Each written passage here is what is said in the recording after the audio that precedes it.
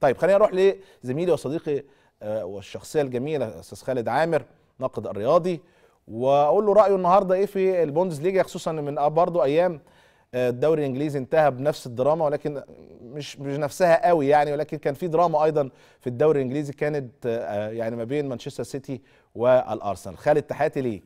يا كابتن فاروق مساء الفل على حضرتك وعلى كل إيه؟ السادة المستمعين والمشاهدين. أخبارك يا حبيبي؟ كله تمام؟ أنا زي الفل. حضرتك وحشني جدا. الله يخليك حبيبي والله وأنت جدا جدا. ربنا يخليك. طيب آه، يعني خليني أكلمك على الدوري الألماني النهارده لو يعني تابعته وتابعت الدراما اللي كانت فيه. آه طبعا يعني سيناريوهات كرة القدم اللي حضرتك كنت لسه بتستعرضها دلوقتي بداية من 2003 دوري سيد عبد النعيم الشهير ما بين الأهلي وامبي ومرورا بكل الأحداث اللي حضرتك ذكرتها لحد أخيرا آه، مانشستر سيتي آه هو ما كانتش في اللحظات الأخيرة زي ما شفنا النهارده في الدوري الألماني آه، بس يعني إنه الموسم كله ب- ب- الناس متوقعة بأرسنال وبيقدم الموسم الاست- ال- الاستثنائي اللي هو عامله والمستوى الثابت وأرتيتا والكلام الكبير عن مستوى أرتيتا ال- اللي وصل أرسنال إن هو يوصل للمرحلة دي إن هو يبقى متصدر الدوري الإنجليزي الكم ده من الأسابيع على التوالي وبعدين في الآخر يخسر في آخر كام أسبوع برضه تعتبر من السيناريوهات الغريبة في كرة القدم بس أنا صراحة ما شفتش سيناريو أغرب من السيناريو اللي حصل النهارده ده. يعني الأسبوع اللي فات البايرن متصدر آه، دورتموند مركز ثاني بايرن بيودي الصدارة لدورتموند. دورتموند بيصعد يبقى مركز أول بايرن ما عندوش مهاجم تقدر تعتمد عليه. تشوبو موتنج مش هو ال- ال- المهاجم اللي يقدر يشيل فريق بحجم بايرن ميونخ. والناحية الثانية عندهم سيباستيان هالر اللي راجع من رحلة مرض أو أو صراع مع المرض وبيفتتح أهدافه أو يستعيد مرة ثانية أهدافه والكلام ده كله وجمهور دورتموند كله بي بي بيجتاح ملعب سيجنال إيدونا بارك في المناظر اللي شفناها النهارده. وكل التوقعات بتقول هو بيلعب ماينز المركز التاسع في الدوري. يعني كل المؤشرات بتقول إنه دورتموند هو بطل البوندسليجا بعد مرور 12 سنة أو 11 سنة على وجه التحديد. بيخسر 2-0 من من أو بيتأخر 2-0 من ماينز. والناحية الثانية بايرن ميونخ قدام آه، كولن بيح بي- بي- بيحرز هدف فبتبقى 1-0 فالأمور بتنتهي لصالح البايرن. آه، دورتموند يجيب جون تقليص الفارق عشان يع- الأمل يرجع مرة ثانية في نفس الوقت الناحية الثانية كولن. يحرز. هدف من ركلة جزاء فكده الدوري يرجع لسيجنال إيدونا بارك ثاني. فيقوم بايرن ميونخ ينزل آه، آه، جمال موسيالا اللي كان على الدكة عشان يجيب جون من تسديده صاروخية فالدوري يرجع مرة ثانية لبايرن ميونخ سيناريو غير طبيعي في كام دقيقة على التوالي كده آه لا النهارده كان أحداث آه يعني عارف أنت شغف كرة القدم كما ينبغي أن يكون فعلا مم. مم.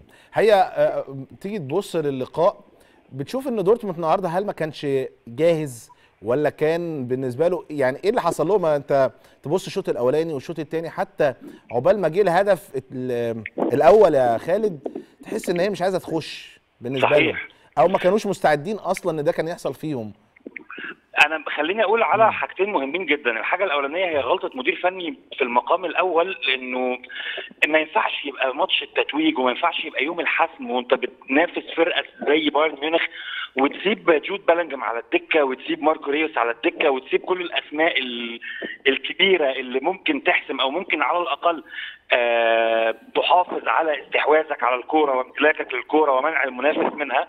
ما ينفعش دول كلهم يكونوا قاعدين على مقاعد البدلاء وأنت بتلاعب آه أي نعم بتلاعب مركز تاسع وكل حاجة بس في نفس الوقت ما, ت- ما ينفعش تأمن مكر كرة القدم خاصة لما يبقى المنافس بتاعك اللي الناحية الثانية عامل عليك ضغط إنه بايرن ميونخ. ده. اولا. ثانيا وهو الأهم إنه فعلا الفرقة النهارده كأنها بتعاقب سوري مش الفرقة ال- الأحداث أو الكورة بتعاقب المدير الفني على اختياراته السيئة أو على أو على بدايته السيئة للمباراة. بسوء حظ غير طبيعي الكورة بتخبط في ثلاث أربع لعيبة وتطلع أوت الكورة تخبط ثلاث ثلاث أربع لعيبة وترجع عند المدافع اللي لو ال ال يعني لو الكورة بس نص خطوة يمين تروح للمهاجم بدل المدافع يحطها جوه الجول لا ترجع. للمدافع عشان يشتتها هو كده لا. لا هي كوره آه كده آه والله أنا مش عايزاه أنا مش بحبك أنا مش آه. عايزاك مش هتجيب مم. فاهم قصدي؟ فهي الكورة كأنها النهارده كانت بتعاقب المدير الفني لبروسيا دورتموند. على اختياراته السيئة في في, في بداية المباراة.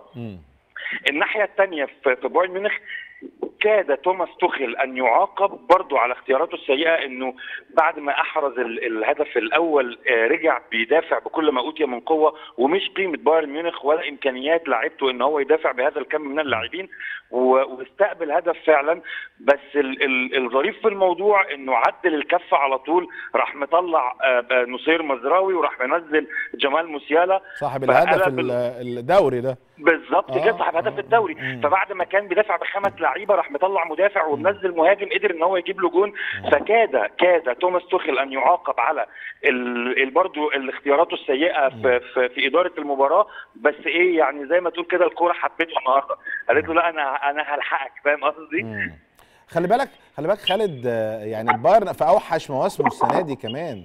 آه، يعني ده, ده يعني الدوري رقم 11 في تاريخه آه متتالي لكن هو في أوحش مواسمه من وجهة نظري.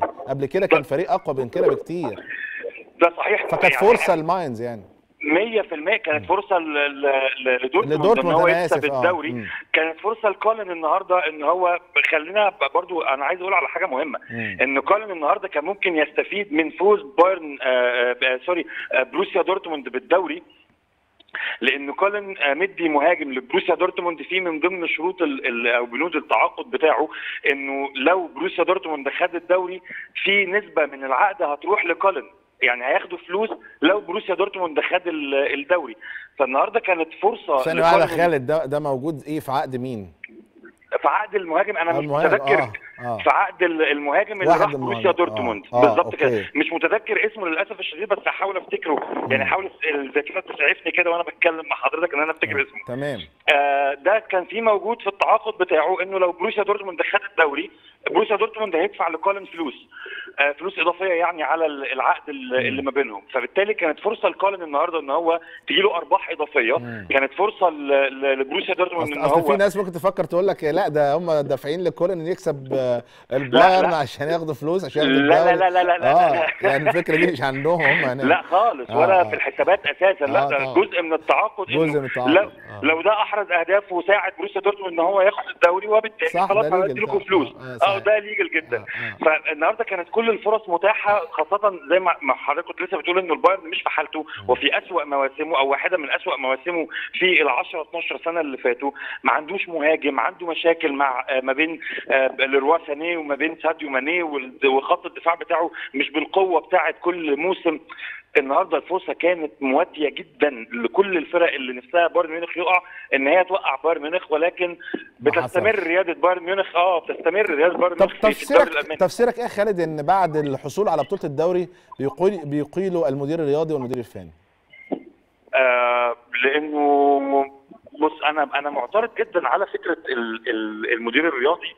آه أنا بالمناسبة ما أعرفش هو بايرن ميونخ هو اللي أقال المدير الرياضي والمدير الفني ليه آه يعني هو ده الخبر اللي جاي لي أو يعني موجود قدامنا يعني يعني يعني حسن صالح حميديتش و- وتوماس توخل لا. توخل لا توخل لا آه آه، أوليفر كان وحمديتش آه والله آه. طيب أنا خليني أتكلم في القصة دي أنا كنت عايز أتكلم فيها من آه. شوية لأنه أنا. معترض أصلا على أداء ال ال ال الأداء الإداري الخاص ببايرن ميونخ لأنه ما ينفعش بكل حالة وعشان كده كان نفسي بايرن ميونخ يخسر الدوري بالمناسبة. لأنه ما ينفعش نجلزمان يكون موجود مشروع مدرب للمستقبل عنده إمكانيات كويسة آه بي struggle شوية بس عنده إمكانيات كويسة تمشيه في نص ال season وتجيب توماس توخيل اللي بعيد تماما كطريقة لعب عن آه، بايرن ميونخ آه توماس توخيل كان مميز جدا مع تشيلسي وقدر يخليهم أبطال أوروبا. آه ما كانش مميز قوي مع باريس سان جيرمان ما عملش البصمة اللي تذكر يعني. مش هو اللي اللي, اللي أتخلى عن المشروع اللي أنا ببنيه للمستقبل عشان أتعاقد معاه. آه لو بيب جوارديولا هقول لك تمام. لو يوب هاينكس هقول لك تمام. لو أليكس فيرجسون راجع للتدريب هقول لك تمام. بس مش توماس توخيل. إن أنت تمشي نجلزمان وتجيب توماس توخيل في الظروف دي. آه وبتطيح بنجلزمان من غير مبرر غير إنه طب إحنا أصل إحنا خايفين ان توماس توخيل يروح ريال مدريد فهناخده إحنا ده كان شيء بالنسبة لي عبثي جدا. واللي واضح على فكرة على أداء توماس توخيل واللي واضح على أداء بايرن ميونخ في الآونة الأخيرة بالمعاناة الشديدة في في في دوري الأبطال والمعاناة في في الدوري الألماني في الأسابيع الأخيرة والمعاناة النهارده لا هو توماس توخيل ما كانش ينفع يجي ففي البداية دي كانت خطأ مين؟ كان خطأ ال- ال- الجزء الإداري اللي هم أوليفر كان وحسن. صالح حميدتش آه، آه. بالظبط. هو هو كانوا شايفين إن المشكلة في الجزء الإداري وإن كان طبعا توماس نفسه يعني قدر إنه يحقق بطولة الدوري في ظل طبعا صعوبة للموسم بالنسبة له يعني أنا بس عايز هو بطولة الدوري بالنسبة لبايرن ميونخ ما هواش إنجاز. آه يعني دوري أبطال. هوش إنجاز. يعني أنا بحاول المره ال 12 على التوالي. فيعني هو الإنجاز إن هو كان يحسمه قبلها ب 10 اسابيع تمام ده يعتبر إنجاز لطيف. إن أنا أوصل final Champions League إن أنا آخد Champions League إن أنا أحقق سداسيه في موسم دي كلها إنجازات ممكن نعتد بيها. بس في الدوري الألماني تحديدا حصول بايرن ميونخ على لقب الدوري إن هو ما حسموش من بدري ده خطأه هو الشخصي فهو اللي يلام إن هو ما حسموش. مش هنذكر إن هو آه، قدر ياخد بطولة الدوري. لا إحنا هنقول هو ليه قعد مستني لحد آخر 10 دقائق عشان يحسم لقب الدوري. وبالتالي هو مش إنجاز بالنسبة لا لبايرن ميونخ ولا بالنسبة لتوماس توخيل من وجهة نظري يعني مم. خالد آه، أخيرا قبل ما أختم معاك كلامي بقى خلاص عن الدوري الألماني آه، هاخدك لدوري الابطال اللي أنت بتتكلم فيه عشان بايرن. خرج شايف آه، المباراة النهائية مانشستر والانتر يوم 10 إن شاء الله شايفها هتكون رايحة لمين في ظل المستوى. الفني اللي أنت شايفه الاثنين وأنا عارف إن أنت محب جدا للكرة الإيطالية بالظبط آه هو أنا ميلانيستا طبعا مش إنتريستا بس هيكون قلبي مع الإنتر في ال- في المباراة دي عشان الكرة الإيطالية. الكفة بنسبة 100% بتميل لمصلحة مانشستر سيتي بس واهم لو حد كان فاكر إنه المباراة هتكون من جانب واحد تكتيكيا. آه استحواذ على الكورة ممكن تبقى من جانب واحد. ممكن مانشستر سيتي ياخد الكورة يلعب بيها لوحده ما عندناش مشكلة. كخطورة ممكن تبقى لصالح مانشستر سيتي. ولكن آه، آه، الإنتر مسلح. ب squad قوي جدا بدكة عندها حلول آه، ممكن تنزل تعمل الفارق عندها انضباط تكتيكي في الناحية الدفاعية. قادرة إن هي تزهق آه، مانشستر سيتي وبالتالي ممكن سيموني إنزاجي يلعب على فكرة إن هو هيزهق مانشستر سيتي. بالتكتل الدفاعي عنده آه، ظهيرين اجناب هما الأفضل أو من الأفضل في أوروبا في الوقت الحالي سواء دانزل دومفريس ال back اليمين أو آه، دي ماركو ال back الشمالي اللي بيقدم موسم إعجازي بالنسبة له قادرين على إن هم يتحولوا هجوميا بشكل سريع وبالتالي إحنا ممكن نتكتل دفاعيا ونسيب الكرة لمانشستر سيتي يستحوذ عليها وينقل الكره براحته ونلعب إحنا على التحولات في ظل وجود آه، واحد زي بروزوفيتش في نص الملعب زي هاكان شالانوغلو في وسط الملعب زي آه، آه، باريلا في نص الملعب قادرين على نقل الكوره بسرعة لمنتصف ملعب المنافس وعندنا ثلاثة قدام. أعتقد إنه المباراة مش مباراة إيدين دجيكو خالص لأنه بطيء شوية. أعتقد إنه الأقرب للمشاركة في المباراة دي هيكون لاوتارو مارتينيز وروميلو لوكاكو اعتمادا على سرعتهم وعلى قدرتهم على حضرتك عارف التخبيط وال- والجري والمجهود آه. البدني إن هو آه يعني هيكون محتاج حد آه، شرس على الكورة يقدر يروح من أنصاف الفرص يهد الدفاع مش مجرد إن هو بس يجري وخلاص لا هيكون عايز حد قوي بدنيا يقدر يهد في الدفاع لإن هو هيكون بيلعب تكتل دفاعي فأعتقد إن ده سيناريو المباراة الأقرب يعني مم. طيب يعني ده إحنا هنستمتع بماتش يوم 10 اللي هو دوري أبطال أوروبا ويوم 11 بأمر الله بأمر الله يكون الله. يوم تتويج النادي الأهلي بأمر الله خالد يعني عندنا يوم 4 آه لكن يوم 11 هو بقى يعتبر آخر ماتش في آه، المباراة آه، النهائية سواء بقى طبعا آه، يعني الأهلي إن شاء الله يكسب هنا في القاهرة مكسب حلو ثم آه، المباراة الثانية يكون في نتيجة إيجابية. بشكرك يا خالد ودايما بتشرفني وبت يعني تم- بتمتعني الحقيقة من خلال كلامك عن الدوريات والأوروبية وكل التفاصيل الخاصة بالكرة الأوروبية وأيضا طبعا خلال الدوري المصري خالد عامر الناقد الرياضي. بشكره شكرا جزيلا.